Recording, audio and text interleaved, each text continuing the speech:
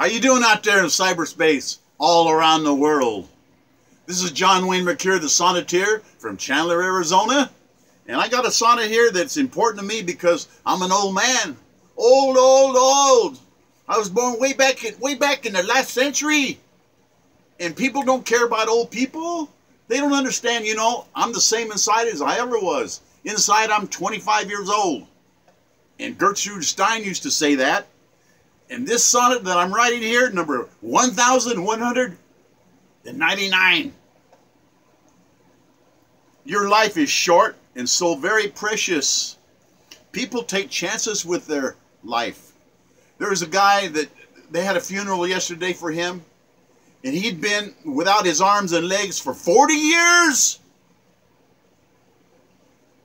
And still he was living. Life is really precious. And it was so hard for him. I can't imagine how he suffered. And life is so precious. And it was precious for him too. Well, Robert Louis Stevenson is one of my favorite writers. Terrific, gifted Scottish writer. The great novel Treasure Island. Every young boy dreams of that kind of adventure. What a great 1950 movie with Robert Newton as Long John Silver complete with he had a peg leg and a parrot on his shoulder. A real privateer, pirate. Stevenson died when he was only 44 years old, young guy, far too young. He was born in 1850. He died in 1894. 44, too young. His story of Dr. Jekyll and Mr. Hyde is scary as a movie. With Lana Turner, exotic Ingrid Bergman, and Spencer Tracy, it's a marvelous transformation of evil Mr. Hyde. Stevenson cherished life as we all should. What a gift is life that your heart beats and doesn't take a coffee break or nothing.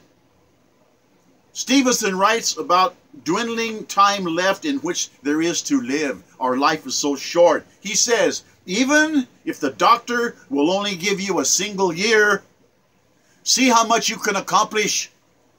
Even if he hesitates to give you a month, make a courageous resolution to see how much you can achieve in just a week, a day, an hour. Go, go, go. Busy as you can. Make something of your later days. People take their lives for granted, thinking they are immortal.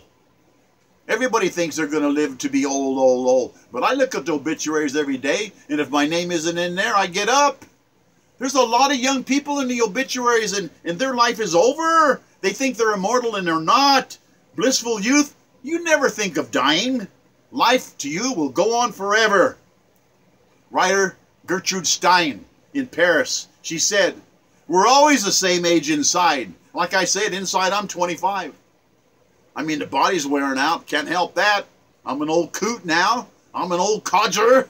I'm one of them old guys, you know, they talk too slow, they, they, they act too slow, they drive too slow. Why don't you just get out of the way, die or something? Well, we're always the same age inside, and I'm 25. After our bodies get old and decrepit, our true age we do deny. We don't want to even admit we're old. The mind itself is forever young and alert, unless you get Alzheimer's or things like that. Despite very, very high mileage, your mind is still adept I try to learn something new every day. Seeing young folks disrespecting the elders. The elders, when you're looking at an old person, you're seeing a survivor. They survived a lot to get to be old, and you don't understand that. Why? Because you're young and uh, silly. 50, they say, is the youth of old age. You wake up, and everything hurts. Everything is pain. Creaky fingers, arthritis, crippling knees, backs hurting, hips complaining. When you look at an old person, what you see, what you see, really, I'm going to remind you again an old person is a true survivor. The random studying of those obituaries, death is always the victor. It's always going to happen. Hey, you can't get out of it. We're going to die, but don't ever fear death.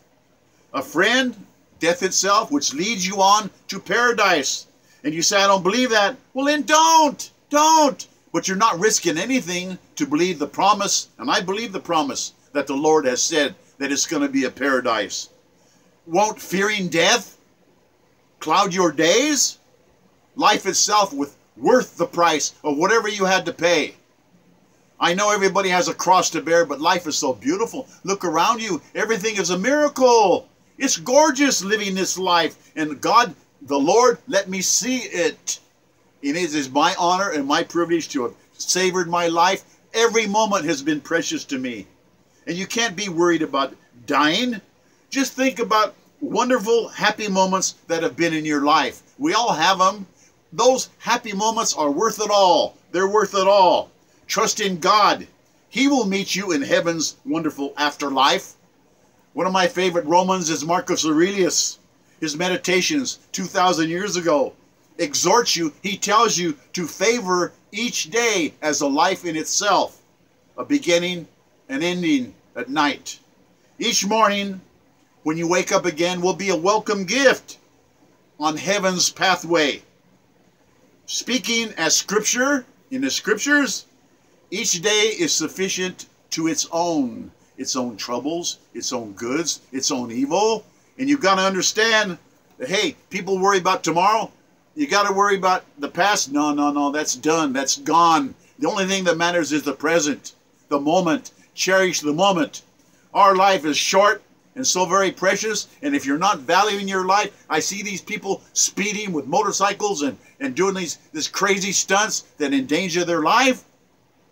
It's not worth 50 years of your life to leave people you love. It's like Clint Eastwood says, you know, uh, you, you kill somebody. I mean, you're killing yourself. You take away not only th everything they have, but everything they're ever going to have. You're losing your life 50 years too soon. You got to be a little more cautious. No sudden moves. This is John Wayne Mercure, the Sonneteer. Ja Allah pour vous, et aimez qui vous aime. Thank you for listening. Au revoir.